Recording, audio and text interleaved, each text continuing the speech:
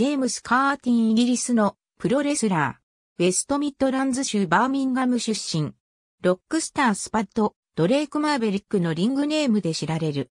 カーティンは、ケースターレスリングのジャック・ストーム、クリス・ギルバートで、もともとトレーニングを受けており、最終的に SAS レスリングアカデミーのチャーミング、ドン・チャーチルの指導を受けている。スパッドのリングネームで、ヨーロッパ、イギリス、アメリカのインディー団体に参戦するようになる。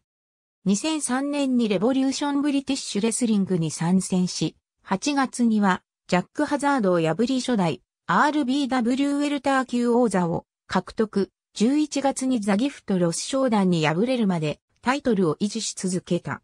スクトは2004年からフロンティアレスリングアソシエーションで短い間、ジョバーとして活動するようになり、2005年にから本格的に参戦し、フライウェイト王座をかけたトーナメントに出場している。トーナメント決勝まで残るが、ロスジョーダンに敗れ FWA フライウェイト王座を逃している。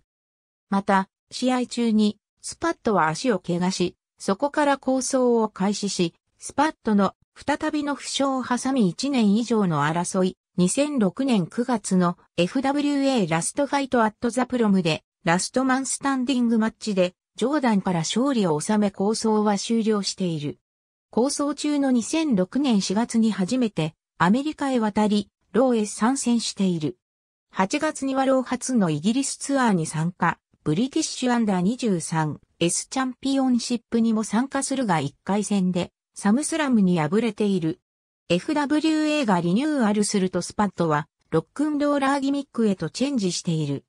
その後スパッドは FWA フライウェイト王座のトーナメントに出場、1回戦を突破するが2回戦でジョニー・ストームに敗れている。2011年にストームとシングルマッチで対戦しているが、ノーコンテストに終わっている。スパッドは FWA と並行しつつ、インターナショナルプロレスリング、ユナイテッドキングダム、通称アイポ、UK にも頻繁に参戦するようになる。2005年になると、ジェームズ・ストームと抗争を開始し、2006年1月にストリートファイトマッチで抗争を終了している。また、ドラゴンフェニックスとドラゴンハーツを結成、9月後半には TLC 形式で iPo、UK タッグチーム王座を獲得している。iPo、UK と FWA の団体間での構想が開始すると、ドラゴンハーツは iPo、UK の選手として構想へと加入する。ドラゴンハーツは、ドゥロア・キンケイドと組み、アイスマン、ホルヘカスターのジョニー・ストームと試合をするが、ドラゴンハーツの二人は負傷欠場してしまう。フェニックスは頭部に深い切り傷を、スパットは肩を脱臼してしまう。2007年初頭に復帰し、ストームからピンフォールを奪っている。FWAVS、アイポ、UK フィナールフロンティアーズ賞で、アイポ、UK 側の代表で試合に臨むが、FWA のハディ番戦に敗れてしまっている。アイポ、UK は敗北後、アイポ、UK タッグチーム王座チャンピオンのスイスマネーホールディングスがリバプールでデビューすると、ドラゴンフェニックスはアイポを離脱し、ドラゴンハーツは解散となった。その後はしばらくシングルで活動をするが負けが多く、ブリティッシュナショナル王座のトーナメントに出場するも、準々決勝で敗退してしまっている。グラディエーターギミックのニック・オビリビオン・アルディスに、敗れてから一時的に離脱いている。6ヶ月後にロックスターのギミックで、アイポ、UK に復帰、復帰試合で、ライオンキッドを破り、アイポ、UK クルーザー級王座を獲得している。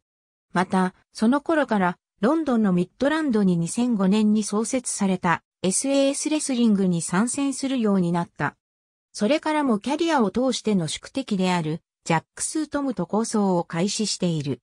SAS で初めて行われた SAS ユナイテッドキングダム王座のトーナメントに出場して優勝している。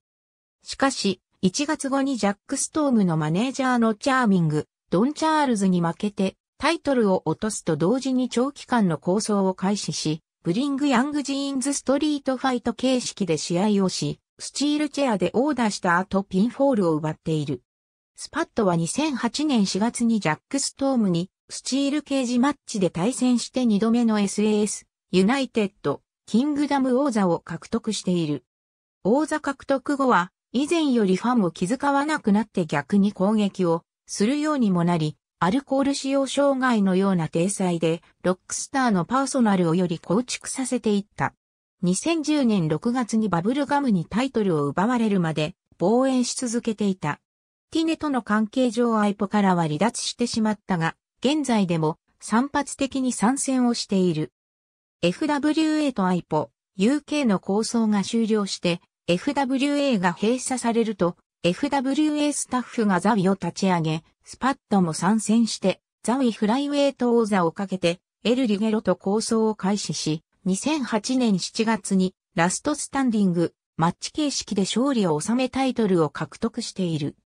2009年にはゴールドラッシュランブルに出場し、フライウェイト王座保持者でありながら、ザウィヘビー級王座に挑戦できる権利を獲得、ヘビー級王座保持者のサムスラムを破りに冠王になった。しかし、防衛戦をあまり行わないことから、フライウェイト王座は剥奪され、2010年4月には、ジョニー・フェルにヘビー級王座を奪われている。9月にネイサン・クルスとの試合中に負傷して一時離脱を経て2011年2月に復帰するが、ティネとの契約の関係上すぐに参戦をしなくなった。2012年1月にポルトガルで開催されたティネのハウスショーに初スポット参戦して試合をしている。2013年1月になると、ティネのリアリティショーであるティネレスリング、ブリティッシュブートキャンプに参加して優勝している。2月にバックステージデビューするもののロビー E とロビー T に妨害されている。その後、ロビー E を相手にリングデビューを果たすも負けている。3月にティネの下部組織であるオハイオバレーレスリングにも登場。登場早々にクリフ・コンプトンの持つオベテレビジョン王座をかけて対戦、勝利してタイトルを獲得するという好待遇を受けている。5月にランディロイヤルに敗れてタイトルを手放している。2017年11月8日、WWE と契約を交わし入団。2018年1月30日、WWE205 ライブにて、スマクダウンライブの GM を務めるダニエル・ブライアンに連れられ登場。205ライブの新 GM として、ドレーク・マーベリックの名前で紹介を受けた。2020年3月、アメリカ国内での新型コロナウイルスの感染拡大に伴い、WWE は有観客興行を行うことができなり、4月15日、マーベリックを含む複数の選手が WWE を解雇された。5月、WWE 再起を目指し、NXT クルーザー級王座トーナメントに出場。